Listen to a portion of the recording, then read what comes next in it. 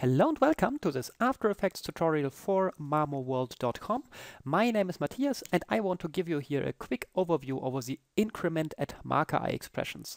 These come in different flavors, so in the library we have the movement modifier bundle and in the movement modifier bundle we have different markers. We have change at markers that like do certain things at markers and after the marker is gone they disappear again these changes and then the increment at marker that like create changes of properties that stay so um, if this sounds a bit weird to you, just take a look at the examples that I find pretty intuitive that we are going to look at now. We have increment at marker for 1D, 2D and 3D properties. Let's start with the 1D variant and this is how it's looking like. And let's say we have here such a text and we want to animate its opacity at marker such that it gets step by step visible. Yeah, so we set the opacity to zero. And then we say at each marker it should increment by say 10%. Yeah. Then I can just apply this iExpression, apply. Can see the number becomes red, but so far nothing happens. And now if I start adding markers to this layer by selecting it and going to layer add marker or hitting the numpad star key on your keyboard, can see here if you look at the opacity here, it's 10 before it's 0. And behind the marker, it stays 10. Yeah, if I add a second marker here, numpad star, it gets 20. Third marker here, numpad star, now here it's 30. So with each marker, 0, 10, 20, 30, yeah, the opacity increases a bit. Now we can even control this more by adding comments to these markers. So we can click on this marker and say at this, for example, 50, which means at this marker, please increase the opacity by 50. Yeah, now you can see here we have 0, now 10, now 20, and now 70. Yeah, because at this marker it changes by 50. You can also put negative values here like minus 10 or so to decrease it again. And also maybe you don't want these changes to be so abrupt. Yeah, If you don't want them to be so abrupt, you can set some global fade in. So you can say each of these should fade in over 10 frames and you can choose either linear, exponential in or exponential out. Let's choose here exponential in. And of course we need to select the properties that we want to apply this to. So select here the opacity and click apply. And now you can see it's not abruptly, but here over 10 frames, you can see here it's it's 1 and now I come a bit closer, it's 2, 3, 6, 10. Yeah, so it's like bit uh, more uh, uh, slowly goes into this new state. And also here where it goes to 50, this is a bit uh, more slowly. Also this fade in can be controlled at each individual marker. So let's say for example at this marker here, or to make this in total more visible, let's first increase this here to say 25 and I apply it. So now you can see here it jumps to 25, here it jumps to 50 and here it jumps to 100 because here it increments at the default of 25, here also 25 and here 50. And now let's say we want to create the fade in a bit differently, so our, differently. So our default is it fades in over 10 frames. And let's say here we don't want to fade it in. So we can double click it and write here just zero frames as a comment. now you can see here we have now an abrupt jump from 25 to 50 without any fade in. And you can give this time either in frames or in seconds. So, or you can also say something like 3s for 3 seconds.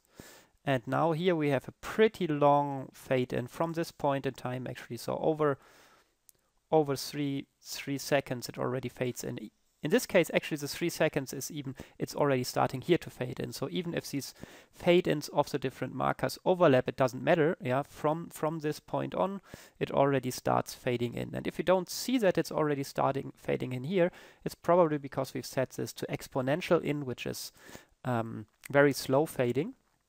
You can see the details of all this fading when you take a look at the expression graph. So we enable here that the graph for the expression is visible and look at the graph editor. Now you can see at the second marker here, where we've set to fade in over three seconds. From here, it's really gently fading in. And here, these are all these small fadings that just fade over 10 frames.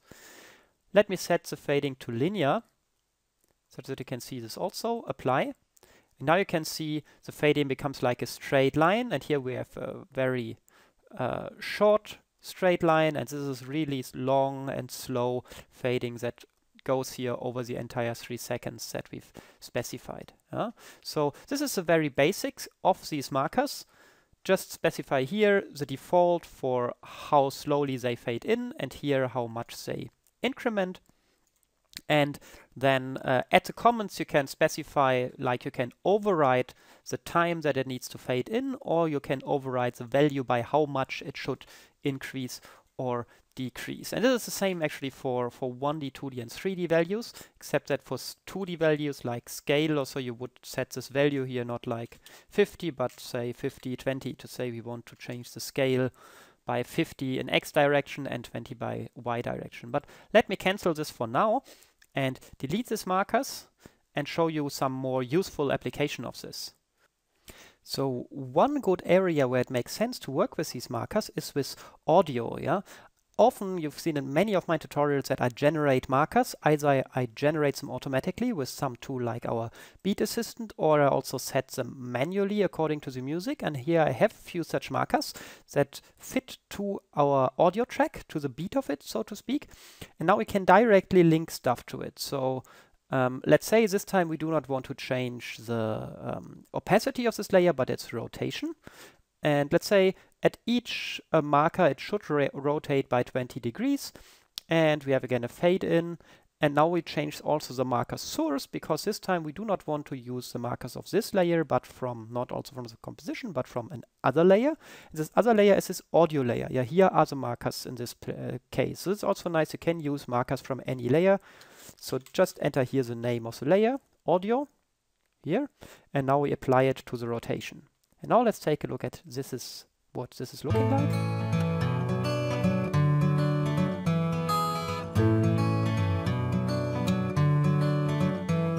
You can see in general it fits uh, to the beat, but it also seems to be a little bit too late always. It's like with the fading, I would love all of these animations to start like a little bit earlier. And of course you can now take all these markers and shift all of them like two or three frames over, but you can also use this frame offset here that says like, for example, minus three means imagine each of these markers uh, is moved three frames to the left. Yeah, it's like the animation start earlier if you use such a frame offset of minus three. And if you apply this, let's see how this is looking like.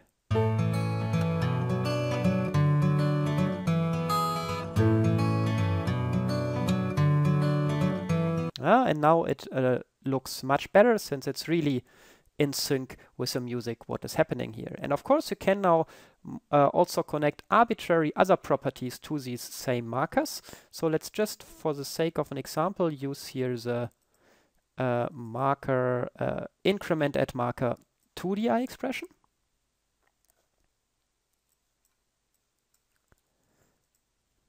Okay, and let's say the scale, which is a 2D value should also increase. Yeah, it's like at each marker the scale should increase also by, let's say 20%.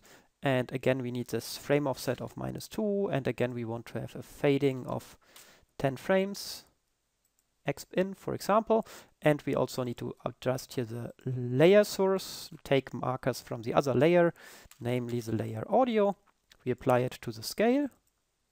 And now you can see with each marker the text is growing.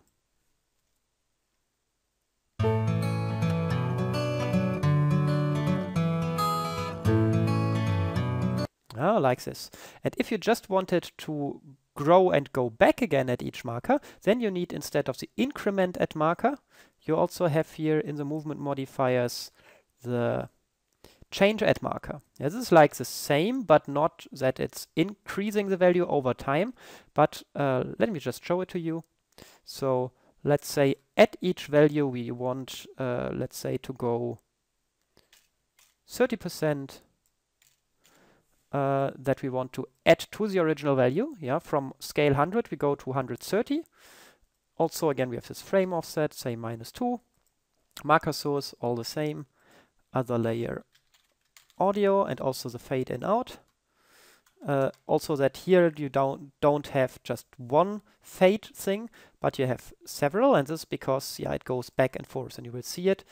Let's say we have a fade in duration of 10 frames and a hold duration of 0, which means don't stay at this value, but immediately after fading in to this growing, uh, go to the fading out. And we can also choose here different um, fading types. Here the fading types are a bit, a bit different because you just have linear and exponential. And if we apply this one,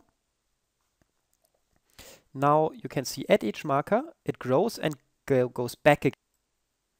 Uh, now in total this then looks like this.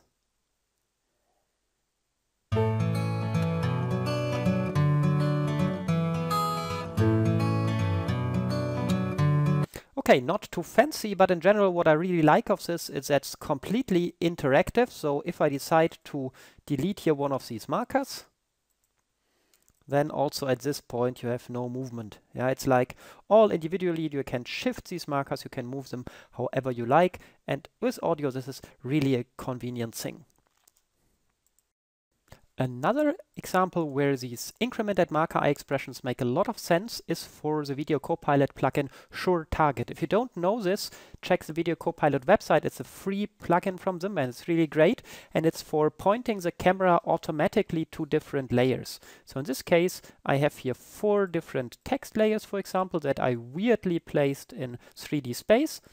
And in Sure Target, I've set uh, four target layers. Here the exactly these four layers I've chosen here to be the four first targets. And then we have here this sure target value that I also have here. And currently it's set to one, therefore the first title is uh, in focus here. I can set it to two. And now the second title is in focus and I can set it to like three. Now the third one is in focus and to 4 and now the fourth one moves into focus. And normally you just keyframe this sure target value here and set the first keyframe to 1 yeah like this. Here I have like the first element in place and now I want to transition to the second one. So I set here a second keyframe for 2 uh, now we have our transition from first title to second title and now I want to stay at the second title for a while so I make another keyframe. And then I again one second later for example I want to be at 3 and so on, uh, like this. But now you can do something even better. And what you now can do is to say, I apply an expression to this here to automatically increase it by one step by step. Uh, because then you don't need two fray keyframes, one at the uh, beginning and one at the end of the transition, but you just need one marker. And this makes it, in my opinion, much cle more clearly visible. So um, Let's set this here to 1 at the beginning and remove all keyframes. Now it's always at 1. And now we say increment at each marker by 1. And we want here to have a default default uh, fade in duration of, let's say, uh, 20 frames. And we set it to exp in, for example, the transition type. And now I click um, apply. And now nothing happens. We are always at the first title. And now when I want to go to the second title, I just set a marker on this layer like this. And bam, we are at the second title. And now here we want to be at the beginning of the third title. Bam, here is our third title. And before we have a nice transition. And this transition, the beginning of this transition is exactly 20 frames uh, before this point. Yeah, It's like for all of them, you can now change the transition speed uh, simultaneously. If I so let's take a look at this, or maybe let's just add a force marker also here. Let's just distribute them, uh, oops, a little bit like this, and take a look at RAM preview.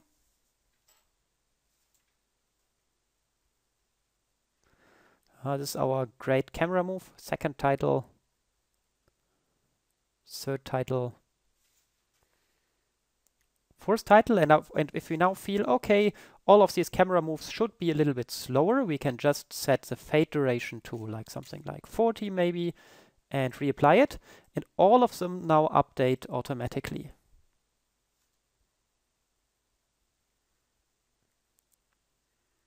Ah, now you can see our transitions happen much slower, but all of them in a consistent speed, which is really nice. And if you want one of them to be uh, slower or faster, again, you can do annotations here, like say, this one should have no, or very fast, let's say just uh, five frames. like this. Now we have here a very slow transition. And from this one to the next one, it's really fast. Yeah, because we said just five frames to transition from here to here. Really convenient. And of course, you can also write other comments here that the iExpression does not understand and it doesn't matter. So you can, for example, let's say you create a template and you want to make it as easy for uh, the template user to modify your project. You can just call this here um, second title. Uh, and now you know here's my second title visible. And here you can say, let's forget again about this change of five frames transition. Let's here say third title. And now whomever opens your project immediately sees, ah, here starts the second title, here starts the third title, and so on, um, without needing to look at any keyframes. So it's clearly visible immediately. And it updates automatically. So it's like if you say, okay, here I go to the second title, but now I want the second title to come later. It should actually be here. Well, no problem. Here it's the first title and now the second title is exactly at this point visible. So this is a really clever automatic way to like highlight the, the, key events in your animation, namely where the camera changes. With these markers, you can even label them and everything is live linked to these markers here. Okay, and that's it already for this tutorial. I hope you got a good idea now what you can do with these increment at marker iExpressions. Now, most of the time I've really used this 1D variant, but the 2D and 3D variant really work in exactly the same way. Just use the 2D or 3D variant if you need to modify, yeah, 2D uh, properties or 3D properties, like if you want to shift the position of a 3D layer in space at each marker, you obviously need the 3D variant. That's it for this tutorial. I hope you enjoyed it. Again, my name is Matthias for mamoworld.com and I'm looking forward to see you again in the next tutorial.